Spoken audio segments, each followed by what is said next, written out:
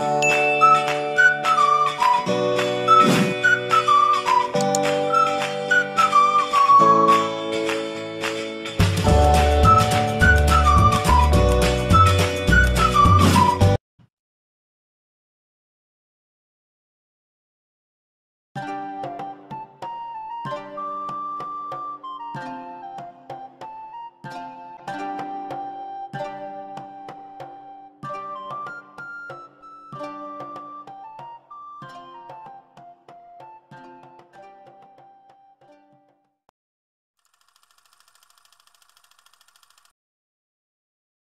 My name is Rudolf Rassendyll. I used to be lazy but I should explain that I had not been lazy all my life. I had studied hard and learned a lot when I was at a German school and German university. I spoke German as well as I spoke English, and I also knew how to speak French, Italian and Spanish. I was good with a gun and a strong swordsman. I was also very good at riding a horse. I will tell you a strange story that happened to me that changed my life. I was eating breakfast in the dining room of my brother's house one sunny morning, thinking about what I would do that week, when my brother's wife Rose came into the room. Rudolph, you're 29 years old. Are you ever going to do anything useful? Rose. Why should I do anything? I have nearly enough money to do anything I want to, no one ever has quite enough money to do that, of course, and I enjoy an important position in society, my brother's Lord Burlesdon and you are a countess. But you've done nothing except. Be lazy? It's true. I'm a member of the Rassendyll family and our family don't need to do things. Robert, I'm so happy you're back. What's the matter, my dear? She's angry because she thinks I don't do anything. It's not just your red hair that makes you different from your brother. He also realizes his position in society has responsibilities. You only see opportunities in yours. To a man like me, opportunities are responsibilities. Good, because I have some news for you. Sir Jacob Borrodaile tells me he'll offer you a real opportunity. He's going to be an ambassador in six months' time. And he says he's happy for you to work for him. I hope you'll take this job, Rudolph. If in six months' time I'm in a position to take this job, then I'll certainly say yes. Oh. Rudolph, how good of you. Where will he be working? Sir Jacob doesn't know which country it will be, but he's sure it'll be a good embassy. For you I'll do it, even if it's a terrible embassy.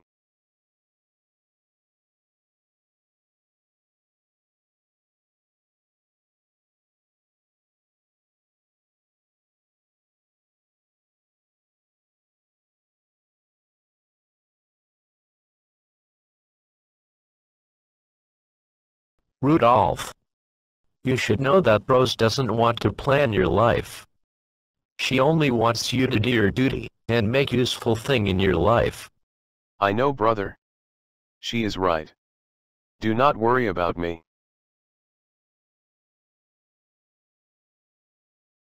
Mm-hmm. Brother. Do you know something about the Elphbergs family in Ruritania? Of course. Our family have always had an interest in that country, because in 1733, Countess Amelia Sendel married a member of the Ruritanian royal family, the Elphbergs. In fact I have paintings of her, and her descendants look. Many of them have the same red hair and straight noses as the Elphbergs. You are the latest one, to have the appearance of the Ruritanian royal family. Oh. That is interesting. I think I should visit the coronation.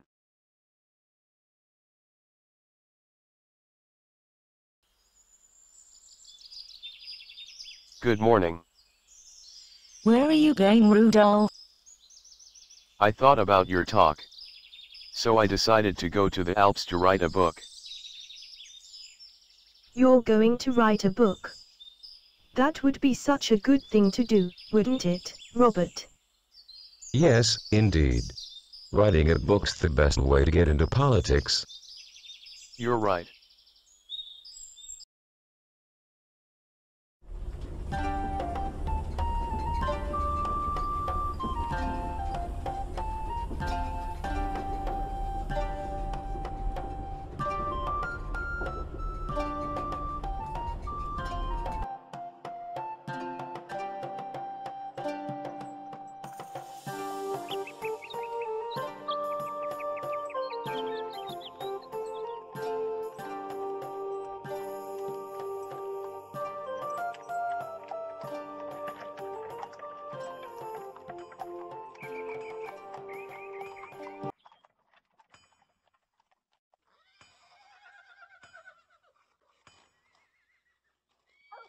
Rudolph. Bertram.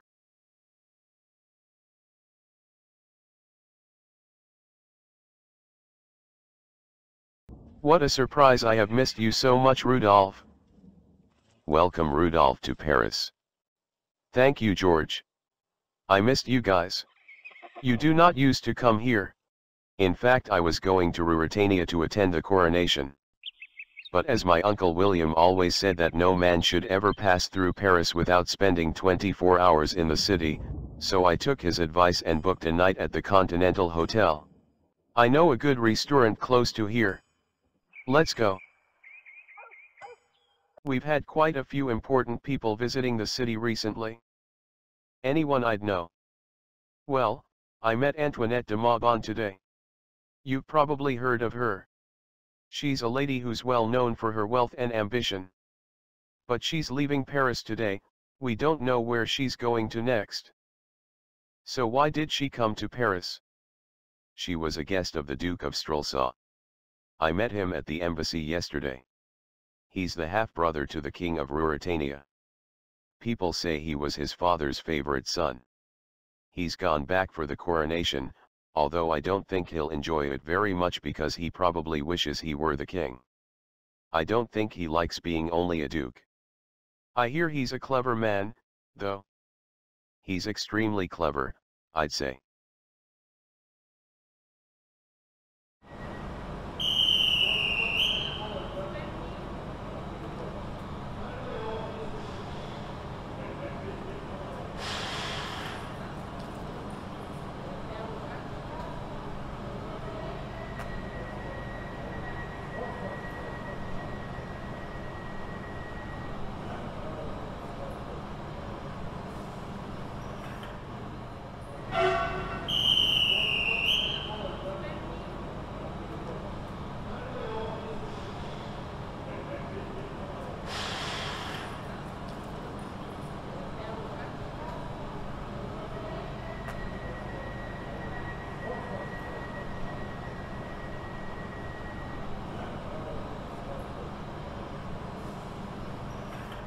You have an important person to travel with.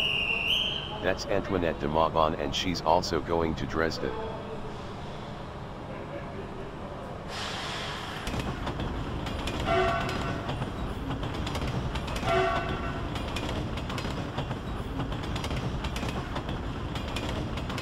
The newspaper described the excitement in the country and in particular the capital city, Strelsau, where it said all the hotels were full with people who wanted to see the event. On reading this, I decided it would be best to stop at Zenda, a small town 80 kilometers from the capital, and about 10 kilometers from the border.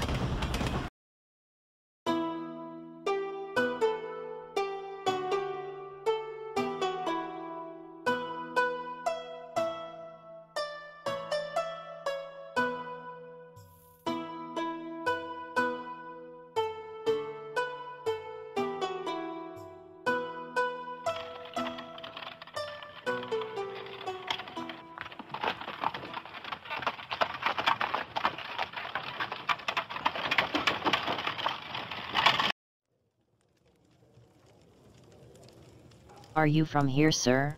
No I am from England. Welcome, sir, to Ruritania. Thank you my lady.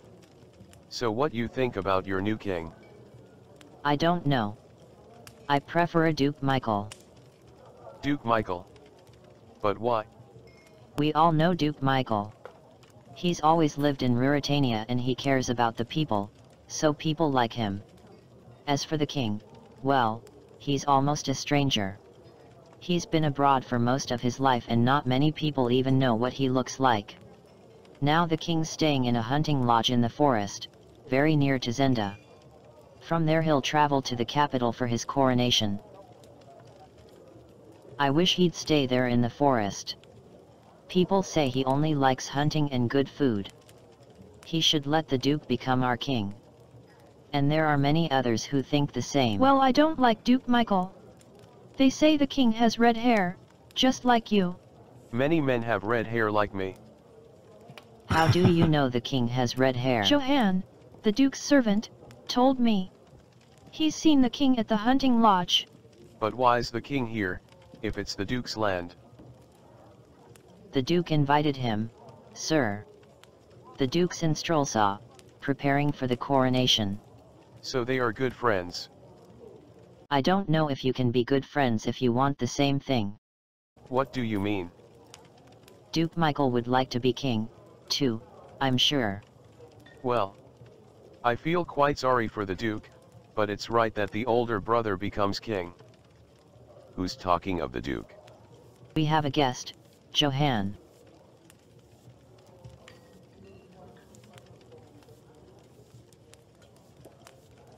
What's the matter, Johann? This gentleman's come to our country to see the coronation. It's the red hair. We don't often see it in our country unless you're part of the king's family, the Elphbergs. Many of them have red hair. Good evening, sir. I'm sorry, I didn't expect to see any new guests here. Don't worry. It's late and time I went to bed. I wish you all a good night. Thank you, ladies, for our conversation. Sir, have you ever seen our king? No, I've never seen him, but I hope to do so on Wednesday at the coronation.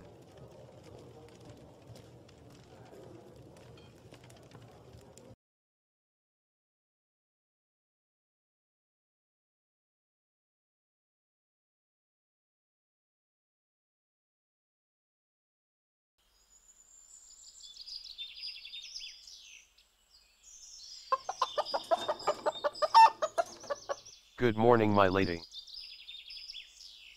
Ooh. Master Rassendyll good morning.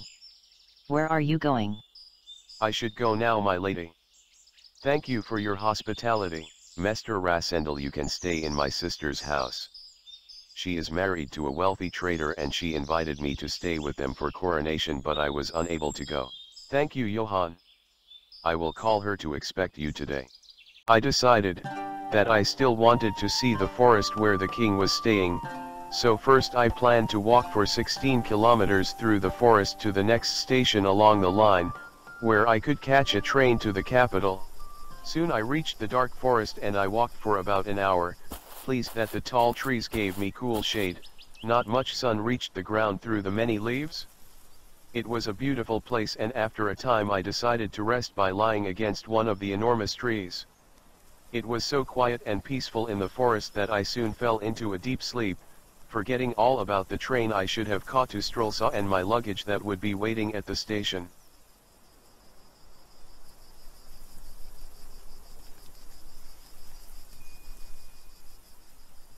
Why look at him.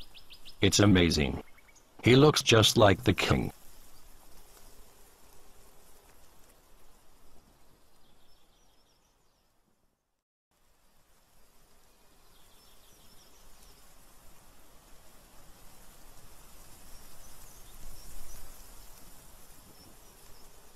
He's about the same height as the king, too. This really is extraordinary. What's your name, sir? Perhaps you can tell me what your names are first. Of course. This is Colonel Sapt, and my name's Fritz von Tarlenheim. We both work for the King of Ruritania. I'm Rudolf Rassendyll. I'm a traveler from England and was an officer in the Queen's army. Well, we're officers for our king, so we understand each other well. Rassendyll, Rassendyll. I know. Are you one of the Burlesdons? My brother's the new Lord Burlesdon. So, do I really look like the king? You could be twins. Although you look like identical twins, you do not have identical personalities or skills. You two seem very different. If you were an officer for the Queen's army, Rassendyll, you must be good with a sword. Is the king not a fighting man? The king likes to live well. Let's say he prefers eating to action, but he's a con man, and he's our king. We would do anything for him. Perhaps we are alike then. Because I like to have an easy life, too. Fritz? Where are you, Fritz? It's the king. He's coming here now.